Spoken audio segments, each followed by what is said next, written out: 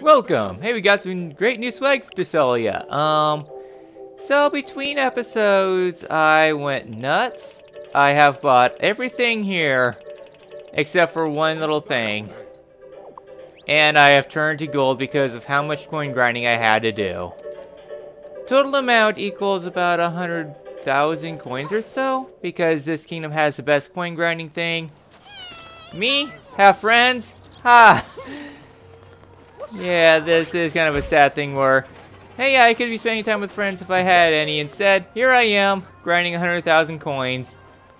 It took a long time, but thankfully that's what good soundtracks are for. Hey everybody, Orpheolus here. Welcome back to Super Mario Odyssey. Last time, we went through the Cascade Kingdom, cleaning that up. And this time, well, here in the um, Bowser Kingdom, since we're on this island, here's Peach here in a lovely kimono. Blah Bowser's Castle. I think this is the first time I've come here on my own two feet. Whatever its history, this castle is simply splendid. And a blob powder moon fell down from the sky. You should probably take it. Alright, Peach in Bowser's Kingdom. Going to go to the Sand Kingdom next? Yeah, about that, I'll see you elsewhere. So, we're going to be cleaning up Bowser's Kingdom this episode. Hopefully going to do it in one go. So yeah, so Bowser's Kingdom, there's quite a bit here. We're going to head and get started here at the Central Keep, where the uh, um, two things that we need for upkeep are. The very first thing that we need is right here. And this is hint art that will lead us to the Sand Kingdom. And ironically, there is something in the Sand Kingdom that will lead us here to Bowser's Kingdom for hint art that only spawns in the post game. Yeah. So I guess with that, we got ourselves a blob power block, so let's send this to the moon.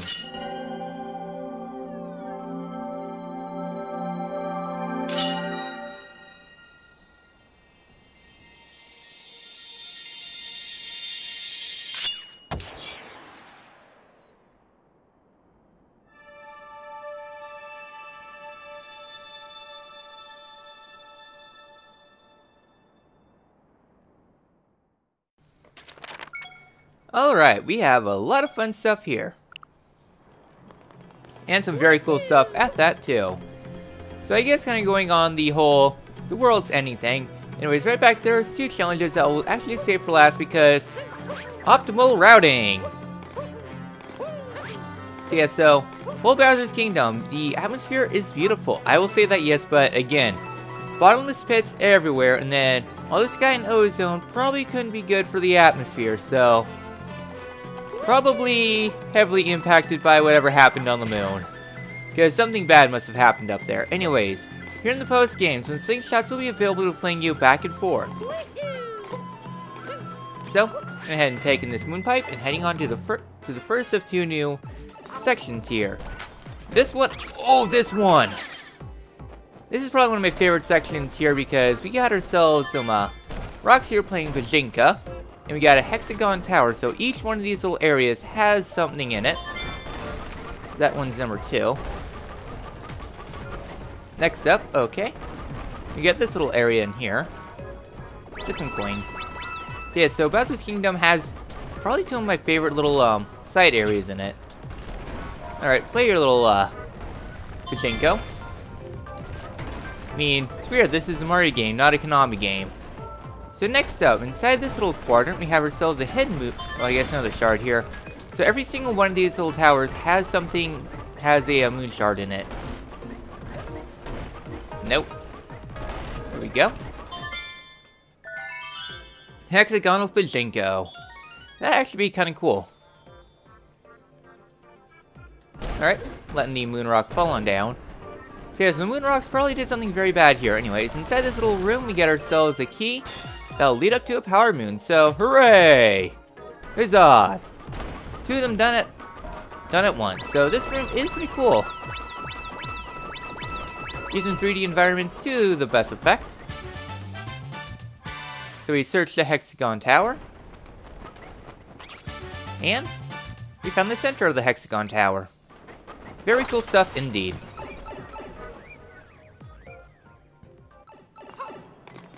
So we're done on this little section. Next up, taking the slingshot and we get launched all the way up here. Not the first area would have gone. So I guess next up, I want to take you. No, I don't want to take you. Poor little Pokio. I just wanted to capture it, instead it flung itself to its death. So the reason we want to take a Pokio is that down here we got some blocks that have spawned. Get out of here, Pokies. I guess Spinies. Alright, cool. So yes, there's a little block down there that you need to uh, time your smart bomb with. Pretty cool moon, all things considered. Kinda doing this a little backwards, but I'll take it. Instead, a block at the gate. So yeah, so I'll be honest, Bowser's Kingdom is probably one of my favorites to clean up. All the uh, moons here are pretty alright. Mario, please. So I don't want to uh, roll. Oh, I remembered something I need to do first. And that's actually, I need a Pokio. Because there's something that does spawn here that does need a Pokio. Hooray for crap memory that somehow remembers at the last minute. Cappy, please, I want to catch the Pokio. His Pokios are cute. Okay? Yes, they control like butt, but they're cute. Just gotta remember to spin, because that will be important in a couple minutes. So here's Pokio's Big Adventure. The reason why is because on the backside of this little, um, on the backside of this roof, yep, we have ourselves another Bonneton. Huzzah! One of those animals with the searchable beak. I have so wanted to see one up close. So the beak rapidly opens from a microfolded state. Yes, I'm confident that I understand this odd beast fully. Huzzah! I met a Pokio! Yeah, Pokios are cute. So heading on over here, we got ourselves another slingshot. That'll lead us to the other, uh, I guess, moon, moon uh, pipe of the kingdom. And this room is also pretty cool, even though this is also another one of those Pokios are kind of meh.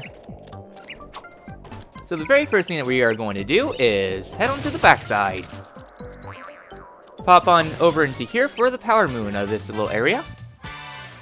Poke the wooden tower. There we go.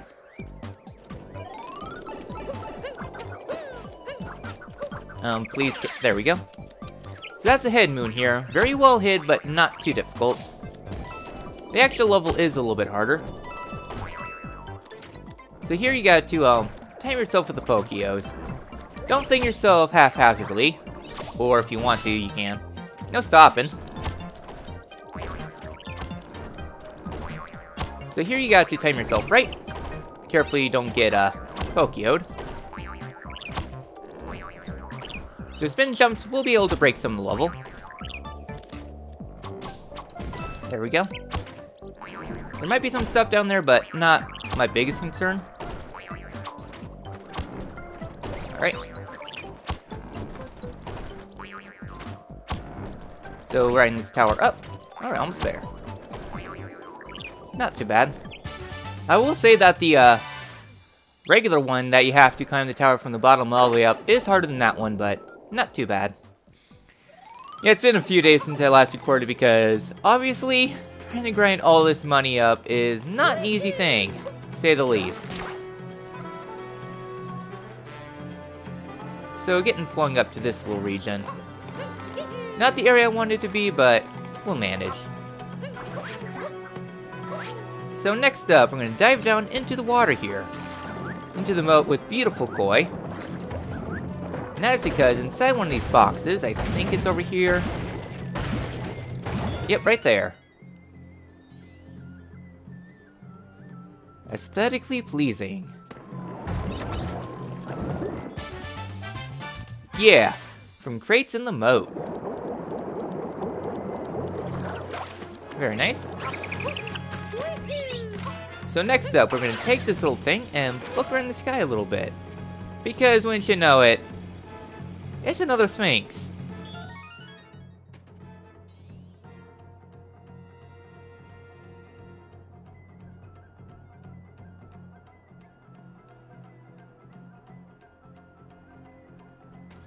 Alright, not too bad. That's a very long animation for sure. Yeah. Sphinx over Bowser's Castle. So next up, we are going to head right here.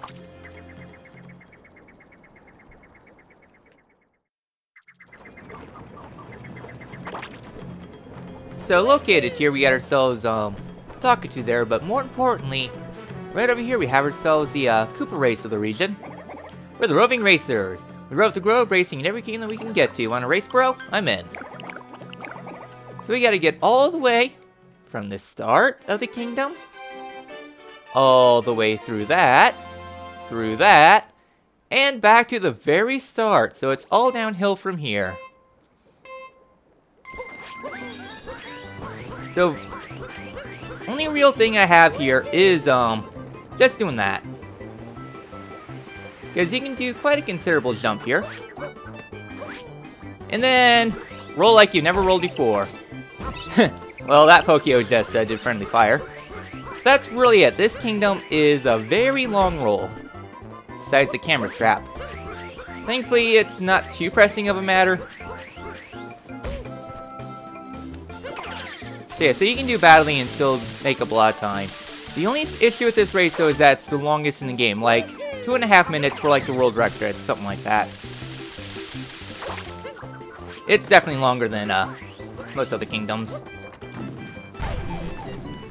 Wow, I'm dying a lot. It's called damage boosting, okay? Yeah, I probably should play the rest of this race a little safe. Because it's a long one. Yeah, a minute in, when most races can be done in like 30 seconds. Hi, Stair Ogre. I'm just ignoring you. So as you can see, we still have a little bit ways to go.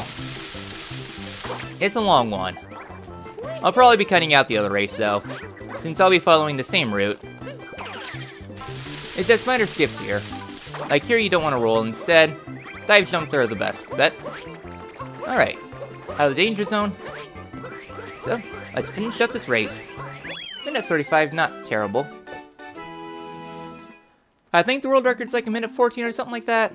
I'm not really paying too much attention to the ILs, but ILs are definitely fun. Unless you're playing Xenoblade and then it gets very competitive. Hooray for using Forbidden Arts! Alright then, so we get ourselves one with the Golden Koopa, so Golden Mario versus Golden Koopa. A race for the ages.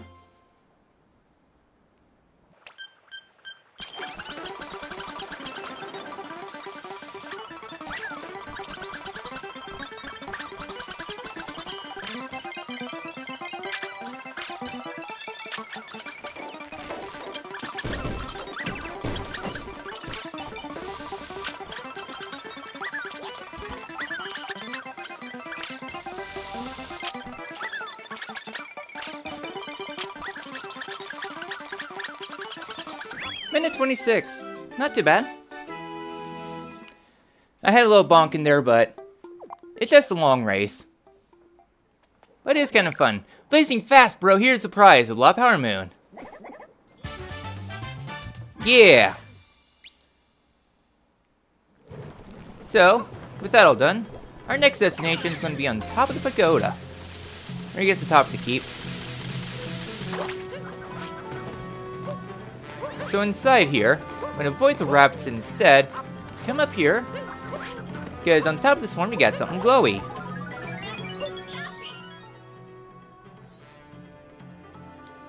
Hooray! Got that done. Alright, next destination is going to be on the next island. That's because we got another vibration thing that we need to look for. Thankfully, the thing we gotta do is right over here where the birds are. Really easy to discover. Now, where is this vibration at? Right over here. There we go. Yeah.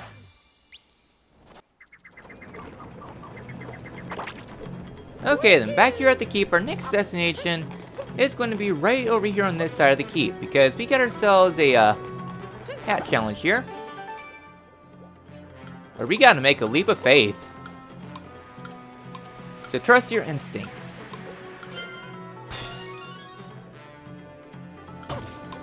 Land there. And dive there. Yeah! So we are done in this general upper region. I want to save those two, that region for last, so we're going to return to the very start of the, of the kingdom. Hooray! And we're not going to turn in our moons yet. Oh no, I want to uh, have a UI disaster. Oh, that's right. We got to go to this kingdom first, to this island first. That's because the door is locked. Thankfully, Bowser had the uh, good idea to lock the doors before he leaves. However, though, there is an issue with him locking the doors. He didn't think about people that can go from the end to the start. So with that, the doors will be open now. No long, so it's now welcoming in the Toads to begin their conquest of the Bowser Kingdom. Hooray for global war! So this next moon is kind of interesting. You gotta sneak up on the birds and you gotta throw your cap. But the bird is easily scared. Thankfully, all you gotta do is come here to the very end, first person, look at the thing. Oh look, we got the moon. That's good as well. Not really for sure, just let the bird despawn, go in first person so that way the bird's off screen, and boom, you get it instantly. Hooray for glitches and fun things you learn while watching speedruns. Even though I don't actually speedrun this game. Alright then, so starting up here on the third island, what we want to do is head back to the start because we can kind of see the pathway, and there is a moon, so shake and you will automatically get this moon. Yeah! Oh, can't return back right now. Oh well. I think it's faster just to, uh, return back using the pylon. So our next thing that we need to do is head on to the next island. Hello there, Mr. Stair Ogre. Don't mind me. Or I guess Stairface Ogre. I like Stair Ogre better. And we're also back to the great music. So anyways, our next destination is going to be back here where the Pokios are because there's actually two new moons here on this island. And they both pertain to the Pokio, so hooray. Hello there, Pokio. I'm going to need your assistance because we get ourselves a challenge here. Weaving. Yeah, I wanted to poke to the side. Now then, Mr. Pokio, will you be so kind as to point me in the right direction? So upon uh, flinging himself back and forth, you can do spin to uh, go a little bit better. And spin will be probably helpful for getting that moon. Not too bad.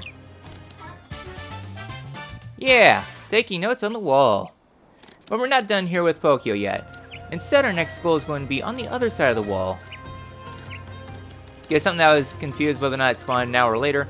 It spawns now, so we gotta take Pokio over to this wall. Camera, please. There we go. There's a little hole in the wall, so poke, release, poke. There we go. Now we gotta get it on top of the wall. There we go. Down with Pokios, hooray! Behind the tall wall, poke poke. I agree, poke poke. So we're done on that island. So here inside the uh, Smart Bombing Island, where the second story moon was, our goal is going to be right back here because we have a little thing there, and we got some spark pylons. Screw that noise. I got Cappy. So I'll just do that. And me Moon here. Yeah! Stonewall Circuit. So I think we're done in that region. Just to look at my list real quick, making sure I only have three left? No, four. Yeah, four left. So our next goal is going to be, um, you know what, we'll, we'll start here. Trust me, there is a reason why I'm doing all this fancy routing, and that's so that way I can line up my end of the kingdom with the with the uh, painting that leads to the next kingdom. So our next goal is going to be right out this way. We have ourselves a series of flags. So adjust your camera, hop across, don't go up so high. Hop across, hop across. Alright, we live somehow. Um, Okay, it wasn't letting me climb. Yeah, the camera here, you gotta adjust manually because the automatic camera ain't the greatest. Yeah, I jumped there. Okay, we're safe. Jump across. If it weren't for Cappy, this moon would be literally impossible. Well, not literally impossible, but... Definitely way more harder than it should be. Alright then. Stressful! Jumping from flag to flag. Alright then, so next up, we have ourselves two new moons here where the boss arena used to be. Heading on here first up, we have ourselves a new enemy that only spawns in the post-game, UFO. Here, my recommendation is, while waiting for Goombas to stack up, let it do its thing, hop, disengage, and ground pound it up. So that's UFO. It's essentially a mini-boss, and it's only two hits instead of the usual three for your Mario enemies. Yeah. There we go. So spin jump to make things a little faster. And there we go. And right where the gods used to be, too. Very nice. Yeah! Invader and Bowser's Castle, and it's not the Toads either. Alright then, so last up we have ourselves this. We got things in a circle. So use Cappy's spin throw to make this a little bit easier, or if you struggle with that, just use the homing capabilities. Alright, spin throw.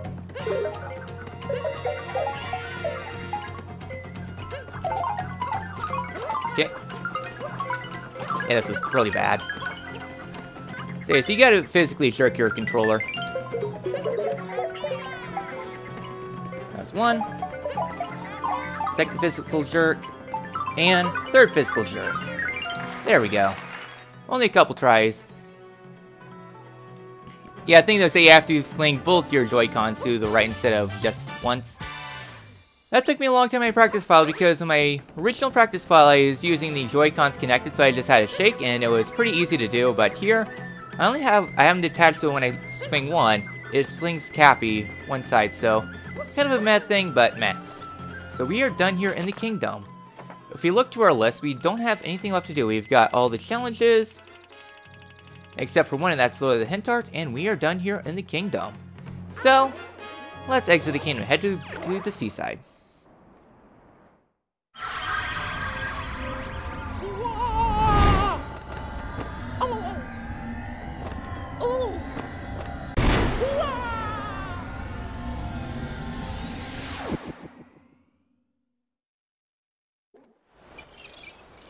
Alright, back here in Seaside, I'm going to take my uh, moon and my flag. And we have achieved a secret path to Bubblaine. Next time in Super Mario Odyssey. Once I get things back more into control for myself, we are going to clean up Bubblaine because Bubblaine's routing is very fun. I will see you all then.